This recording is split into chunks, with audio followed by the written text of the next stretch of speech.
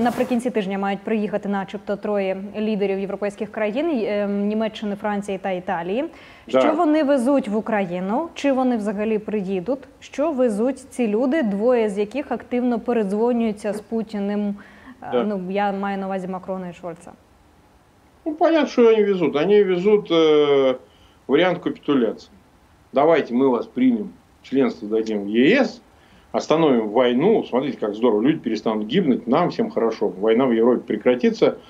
А вы фактически согласитесь со статусом КВО. Да? Ну, то есть переведем это в формат дальнейших переговоров на предмет того, чтобы э, вопрос территорий, которые оккупированы, ну, он был отложен фактически, да, вот потом вы начнете переговоры с Россией, ну, это вы сами знаете, чем кончится Россия, оккупирует эти территории, при, присоединит к себе, а вы вот э, прекратите войну. То есть призом является, что война прекратится, вот прекратятся боевые действия. Ну вот, собственно, весь их мирный план. э, И вы знаете, честно говоря, я не очень понимаю, как его, во-первых, реализовать даже. Потому что, ну, Россия этих территорий уже тогда не вернет точно. Их можно только вооруженным путем вернуть. Россия не вернет их добровольно, этого не будет никогда. Тут иллюзий питать не стоит. Да и понимаете, в чем проблема? Проблема в гарантиях. Ну ладно бы, если бы они оставят себе эти территории и уже больше не будут э, э, лишать суверенитета Украины. То есть не нападут снова там, через год, через два, не знаю, через месяц. Никто таких гарантий дать не может. Дать эти гарантии может членство в НАТО, милитаризацию Украины, тотальная милитаризация, чтобы все население полностью было вооружено, и чтобы вооруженные силы регулярные составляли 200 тысяч, а иррегулярные там, 1500. Современнейшая военная техника и вступление в НАТО. Это единственный ключ к тому, чтобы избежать новой э, дальнейшей оккупации, там, не знаю, захвата Киева, Львова и так далее.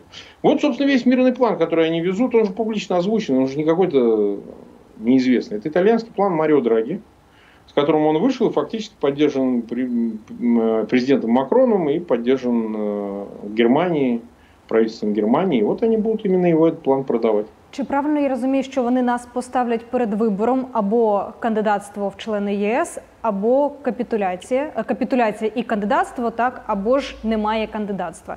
І якщо так, то чому історія нічого не вчить? Тому що дуже багато паралелей з Другою світовою, початком Другої світової, де Німеч... е, де Франція готова була підписувати якісь угоди з Гітлером, аби тільки він типу не йшов далі. Ну, Німеччина була тоді з іншого боку, але сьогодні вона теж не допомагає впоратися з Гітлером е, другим. Власне, чому цих лідерів не вчить історія тоді? Ну, во-первых, э, выглядит ли это как ультиматум? Это выглядит как ультиматум, потому что есть рычаг. Мы вам не дадим оружие современное, понимаете, без которого вы не сможете удержать даже те территории, которые а, сейчас находятся недалеко от зоны боев. То есть русские могут перевалить даже за административную границу Луганской и Донецкой области, не говоря уже там о Запорожье.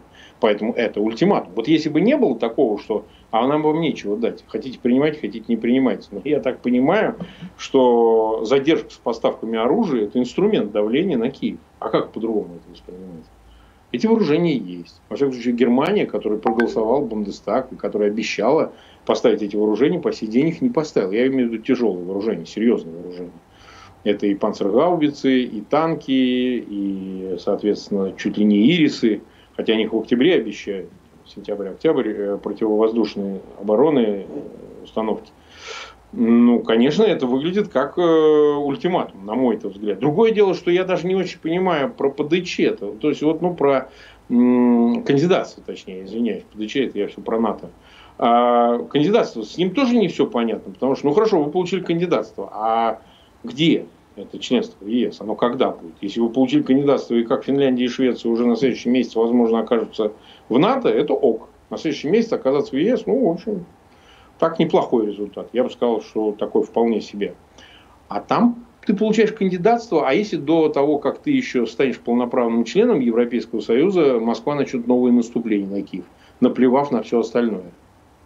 Понимаете? Вот тут как бы я не очень понимаю по части гарантий. Плюс, опять же, ну, членство в ЕС это все хорошо, а кто обеспечит безопасность? ЕС не обеспечивает безопасности.